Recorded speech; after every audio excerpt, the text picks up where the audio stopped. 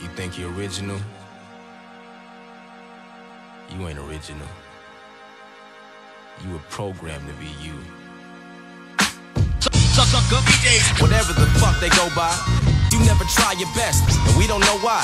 You don't have a skill, you slack off for lots of time to rest. I more than likely could be someone you admire, yes. Say my name and it's like people get afraid and shook. But what, that wasn't good enough? Keep bullshitting till your life is gone. It's hard, it's hard, it's hard to become something so unique where I'm from. What I do have are a very particular set of skills. Skills I've acquired over a very long career. Skills that make me a nightmare for people like you.